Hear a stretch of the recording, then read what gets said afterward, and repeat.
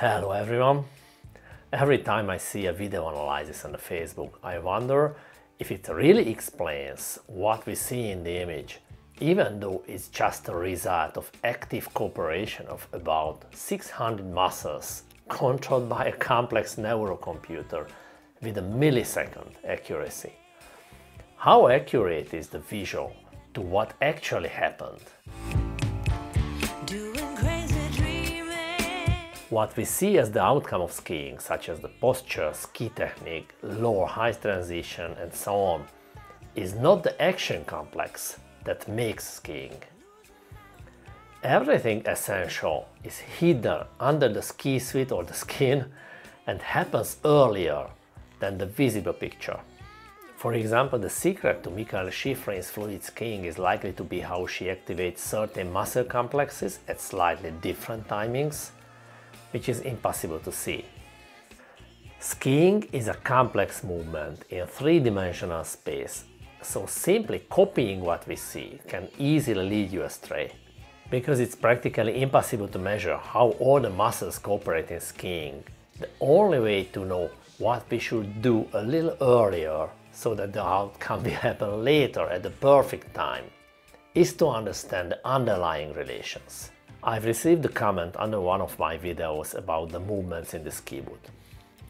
It says that in the case of a well-fitted boot, especially a racing boot, there is no free space for any movement. You might think that if you can't move your foot, there is no point in any foot or ankle movements. But in fact, feet activities are crucial in skiing. To understand how hidden movements work, we must grasp a few fundamental concepts about functional movements in the first place. The human body consists of bones connected by joints activated by muscle contractions. Most of the muscles overlap one or more joints originating on one bone and ending on another. When contracting, the muscles exert an effort on both ends. A muscle cannot decide which one to move and which one not. When we check muscle actions, we're gonna see that one part of the limb is moving relative to the other. Body parts form kinetic chains that can have open and closed endings. The open end can move more freely, the closed part is more fixed. The same muscle activity will affect both ends with the same force, but result in a movement at the open part rather than the closed one. When the open and closed part change because the circumstances change, the outcome of the same muscle activity will be completely different.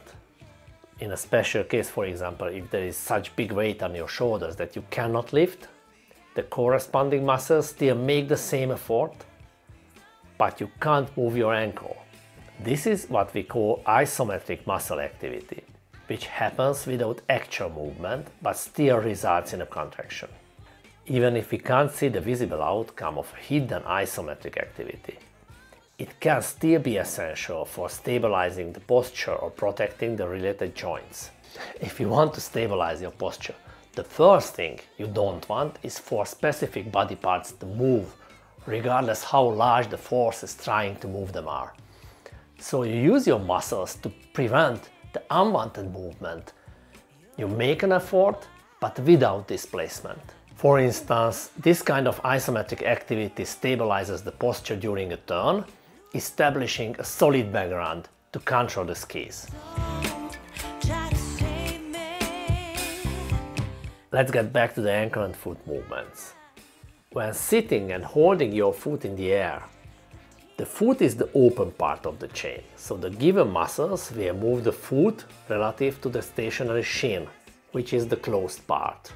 But if you stand up, you cannot move the earth with your foot, so the foot becomes the closed part, and the same muscle activity raises the shin, which becomes the open part. The end effect depends on which part is closed and which is open.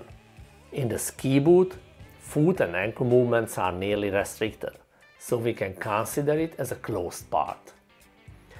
Any effort of the muscles in question will affect the origin, which is in this case the shin-knee area. This is where the story gets exciting. Looking at the backside of the leg, the biggest calf muscles originate not on the tibia, but on the femur, so they also cross the knee. Any stretching or contracting effect of the calf has a side effect on knee flexion. So don't be surprised when you actively flex your ankle. You bend your knees a bit at the same time. So active ankle flexion facilitates knee flexion. This is not the same as leaning forward on the tongue of the ski boot, which is a form of passive ankle flexion. This will have no stimulating effect on active knee flexion. So active ankle flexion results in a lower stance to the posterior kinetic chain. Another movement is to press down the toe or the ball, aiming to increase pressure on the front of the ski. Pressing down the front of the foot is an ankle plantar flexion, in other words, we open the ankle. The situation is similar to what we've seen in a stationary posture. The earth won't move, so the front of the foot, as a closed part of the chain, can't move either. In this case again, the shin is the more open part. The calf on the backside can be compressed and usually the heel also can rise a few millimeters allowing the shin to move back. Therefore, there is a chance that pressing down the big toe or the ball will cause the body to move backward. Same concept applies to any other movement in the ski boot, such as supination, pronation, tipping, or rotational movements. In general, any foot movement has an opposite directional effort on a level higher. Lifting the foot results in a front shin movement, pressing down the foot in the back shin movement. Rotating the foot medially can lightly cause a lateral knee rotation and vice versa. So those movements are extremely exciting and crucial. That's why they deserve a separate video. So all of these activities have a more pronounced effect on the upper part, specifically at the origin of the muscles located somewhere under or above the knee, rather than the actual movements in the ski boot. Moreover, due to the kinetic chains, all these are interconnected, activating the glutes, hamstrings or core muscles. This is one main reason why we want to build up skiing from the bottom to the top and not vice versa. How does this appear in practice? For instance, I use my ankle flexion to set my basic posture. I usually start a run in a comfortable stance and before the first turn I take a more active posture. The first gliding happens with an upright, higher stance and you can see a point when I switch to a real, more attacking skiing stance. Actually, I don't let myself down by bending my knees, because it's a release in the first place. Instead, I flex my ankles by lifting my foot, which creates a deeper posture actively. Another example is the transition. I prefer a cross-under transition in flexion. In this case, I initiate the process with an aggressive ankle flexion during the completion phase. Many skiers think that the release and the compression from the snow can result in a deeper posture, kind of letting the skis in. But this will make the transition slow and passive. A cross-under transition requires many active rotator activities, and an ankle flexion serves as a perfect trigger to activate the necessary muscle complexes. We can see all of those invisible actions as triggers. It doesn't take much force to turn on a switch, but the switch can release enormous amounts of energy. This is how the ankle and the foot movements work in a reverse flow to the kinetic chains. Of course, it's a logical question, what if the ski boots are too big? A large ski boot changes the foot to an open part, and every effort to move the foot will be in vain resulting in less effectiveness or no effect on the posterior kinetic chain at the same time. Flexing the ankle itself initiates knee flexion and can activate the whole posterior chain. So the little prince said it well, what is essential is invisible to the eye. The invisible movements in the ski boot are more important than the flashy upper body movements.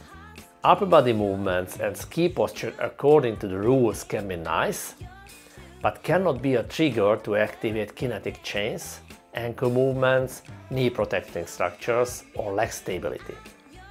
We can decide what to pay attention to, functional movement or external expectations, but we cannot pick and choose. Either this or that. They are mutually exclusive. Thank you for watching this video till the end. You can help our work by giving a thumbs up or a super thanks. And it takes time to process a topic like this, so we don't post often. To stay up to date with future videos, please subscribe and enable notifications. If you have any questions or disagree, feel free to leave a comment to start a conversation but you can also ask questions during an online session.